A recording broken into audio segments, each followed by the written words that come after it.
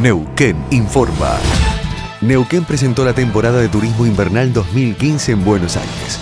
El gobernador Jorge Zapag fue anfitrión de la ceremonia donde se dieron a conocer las novedades para la próxima temporada de invierno en Neuquén, que es el territorio de Sudamérica con la mayor cantidad y calidad de centros de nieve.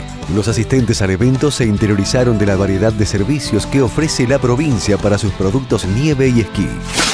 El presidente del Instituto Provincial de Vivienda, Rodolfo Kaiser, visitó la construcción de 190 casas en la segunda meseta de Centenario.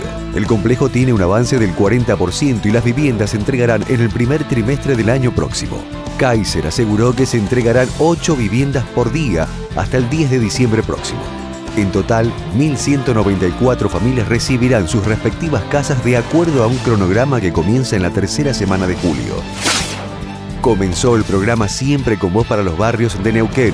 Dio inicio con actividades encabezadas por el ministro de Desarrollo Social, Mariano Gaido, y el concejal neuquino Paulo Bongiovanni. Distintos organismos del Estado provincial visitarán los barrios con actividades para niños de 6 a 12 años de edad, que podrán realizar prevención en salud con oftalmólogos, otorrinos y odontólogos, vacunarse, hacer el DNI, ver una película en el cine móvil o participar en talleres de muñequería y almohadones, entre otras actividades.